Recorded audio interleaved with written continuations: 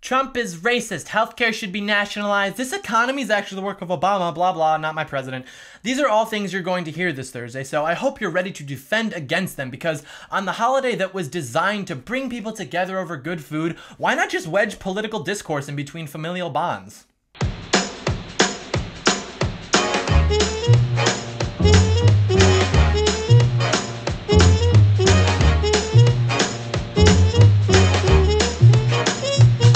Doyle in. Heck off, commie. Ahoy there! Welcome to Heck Off Commie. If you are new to this channel, please subscribe down below right now because if you do, I will shout you out at my Thanksgiving dinner as someone that I am thankful for.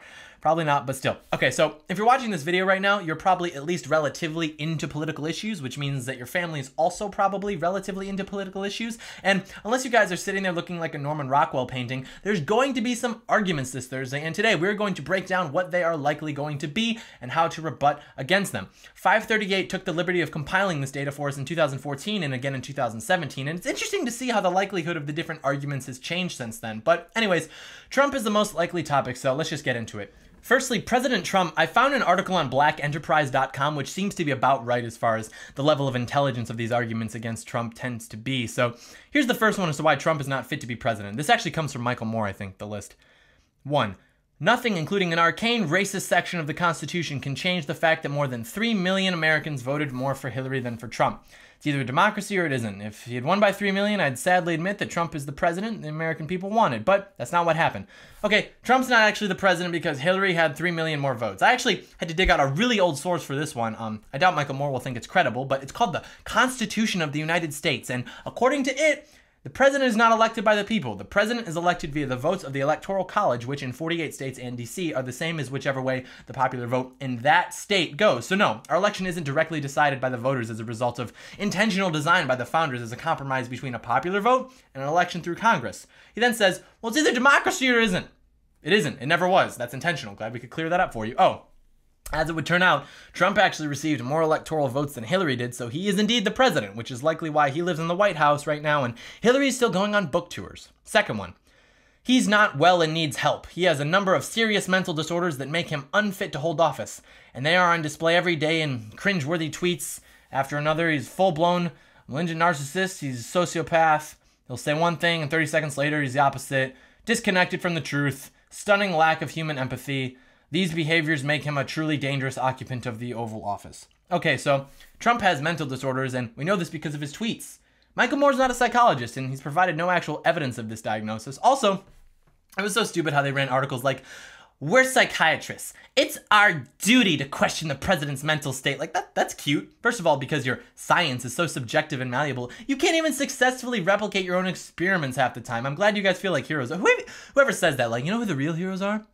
Psychologists psychologists, man, they're the real heroes. And they even wrote a book about this, and uh, they're disregarding the fact that they're violating the Goldwater rule of the American Psychiatric Association that says, hey, you can't just diagnose public figures that you have no clinical information on for the sake of virtue signaling. But they'll do it anyways because they're scientists. Have you ever talked to a psychology major? Like, they're all like this. They say that they can diagnose people with a textbook definition because it's such a hard, irrefutable science. Psychology, by the way, is actually one of the most important fields within the social sciences and humanities. The problem is this, it's just become entirely corrupt by people like this. Anyways, next one. The Russians interfered with the election in order to get him elected. Even Trump now admits as much. That alone makes this election tainted and should be voided.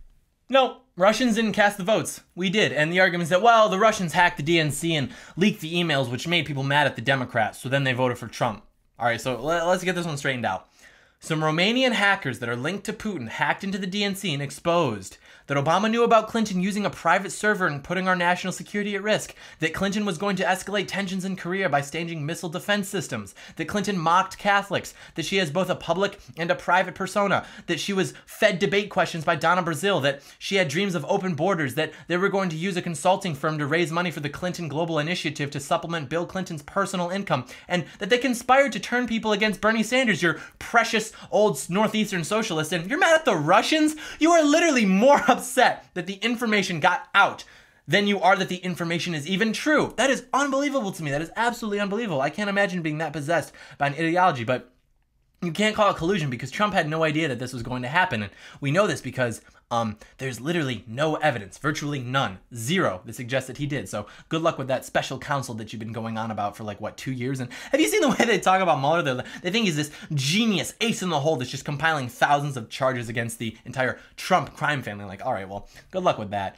Trump went after the guys, by the way, that Mueller indicted, those 13 guys that were part of the Troll Factory LLC. Yeah, they got hit with sanctions. Also, why do you think Putin wanted Trump to win? If I were a betting man, I would say the smart money is on Trump saying, hey, let's be friends with Russians, since that sounds more appealing than Clinton being widely known for having aggressive military policies that would have escalated tensions between not only the United States and Russia, but also a handful of other countries in the Middle East. Next, the FBI clearly chose sides, and Director Comey interference 10 days before the election most definitely helped and tipped the balance. The FBI preferred candidate Donald J. Trump.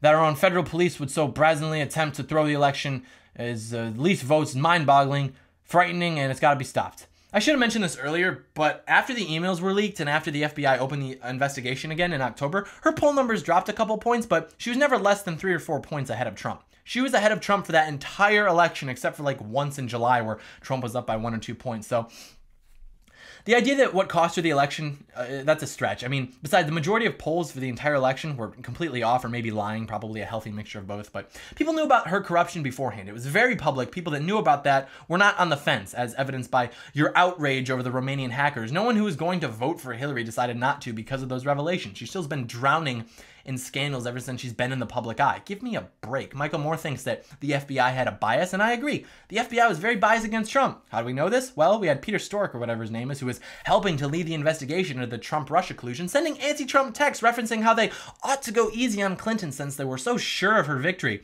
And why is it that the FBI discovering new emails that were pertinent to the investigation mean that they're biased in favor of Trump? Doesn't that just, I don't know, maybe they're doing their jobs? And if you have an issue with that, it's probably because in order for them to do their jobs, they have to investigate a candidate who is completely corrupt, which also just so happens to be your candidate. I'm sorry about that. Okay. Trump has nominated Rex Tillerson, the most powerful corporate CEO in the world, as our Secretary of State.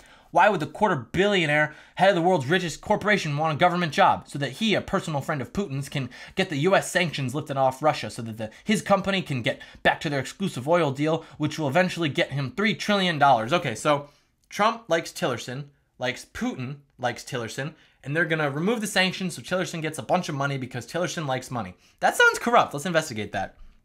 Okay, so apparently we've actually extended our and added more sanctions on Russia, and it looks like Tillerson isn't even Secretary of State anymore because Trump dismissed him. I guess he found out he wasn't going to get a cut of that uh, three trillion because all Trump cares about is money, which is why he takes no salary. Last one. Trump has potentially committed a number of felonies, and a felon simply can't sit in the Oval Office. I can't believe I even have to state that. From his admitted sexual assaults to whatever he's hiding in the tax returns to possibly evading taxes to committing fraud with Trump U to his long list of conflicts and interest, the chances of us to suffer through this impeachment is just too much to bear. The key word in that would obviously be potentially, and everyone knows he's talking about the infamous grab her by the pussy recording, which was quite literally Trump saying, Hey, when you have lots of money, women let you do whatever you want to them, which is true. And you can tell just by actually, I'm just gonna go through this recording because we gotta we gotta go through this clip because it's just such a You know, I'm automatically attracted to beautiful. I just start kissing them. It's like a magnet. You just kiss. I don't even wait. And when you're a star, they let you do it. You can do anything. Whatever you want. Grab them by the pussy. Can do anything. Yeah, it's so obvious they're just going back and forth with each other. Notice how Trump sets it up. He waits for him to start laughing, and then he says the extreme example, you know, you can grab him by the to just make him laugh harder. They're just bull with each other, and everyone knows it. Every guy has had conversations like this, and then there's always the ones that say, no, I would never talk about a woman like this. Like, okay, everyone knows you're lying, you aren't better than us, and you aren't gonna get laid pretending to be an ally. He says Trump's committed felonies by not paying taxes. I like that they bring that up. Like, Trump doesn't pay any taxes. Do you know how businesses work? Legally speaking, there's no other practical purpose of establishing an entity like a corporation other than tax purposes and asset protection. That's basically it. Anyone who's taken Business 101 or attended Trump University knows this. Trump University, that's another thing that they like to get him for. It's a fake university. You're reading too deep into it, my guy. It was never marketed as a university. It was a seminar. Calling it Trump University was just a clever name for it. No one thought that they were going to be dorming there. I've read a lot into real estate and portfolio investing, and everyone knows that those seminars are a scam. Everyone knows that. The people that go there to those seminars, they think that there's some big secret that they're going to learn, and once they learn it, they'll be able to make millions of dollars. Like, okay, have fun with that. Trump isn't the first guy to get pinched for these uh, get rich quick type seminars. And yeah, of course it was BS, but the people who were willing to pay that much money to go to a seminar, they could have spent 10% of that on books from Amazon that would actually teach them. But they didn't want to do that. They wanted to pay for the Trump branded education for less time consuming endeavor than they thought, uh, you know, would make them millions of dollars. And of course it didn't deliver, but the fact that they expected it to was kind of silly. And I'm not defending Trump for this. I really don't have a ton of respect for get rich quick salesmen. I'm just saying that no one forced them to pay for it. They chose to. Did the advertising mislead them because they weren't able to spend $1,500 on a seminar and, and instantly make a million dollars? I mean, I guess so. It's funny because just because the people got refunded doesn't mean that they learned anything. They're probably just going to go to a find and flip seminar now. Anyways, there you have it. You can now defend against the inevitable onslaught against our president by your leftist relatives. And after you're done defending, feel free to remind them that Trump has crippled ISIS, cut taxes, and achieved the highest level of consumer confidence in 17 years and made the US economy the most competitive in the world for the first time in a decade, raising GDP by 3% on average each quarter for the last 18 months. Dow hit 70 record highs just in 2017, workforce participation record highs, unemployment record lows, Hispanic and black unemployment record lows, and we got rid of the individual mandate from Barry. Trump economy is soaring. Everyone's lives have improved, but the press is still overwhelmingly negative against Trump. Who cares? Don't buy into it. No one actually does, which is why CNN pays so much to artificially inflate its viewer counts. America is becoming great again. I'm very thankful to Donald Trump, but I'm also thankful for every patriot, you guys, that elected Trump, saw how the media was slandering him only to protect the Washington establishment, but still voted for him. In secret or not, we did this. This is our movement, and Trump is our president. Things are absolutely beautiful. What a time to be alive. Happy Thanksgiving, and I am thankful for every single one of you. Hey guys, if you like this video, please subscribe to my channel. You can click my face down there. It'll help you do that. Give this video a thumbs up and a comment. Also, forward this video to a conservative family member of yours that you think might be lacking in arguments, or just project it during Thanksgiving dinner. Let the whole family watch it. Thank you so much for watching as always, and may God bless America, and happy Thanksgiving.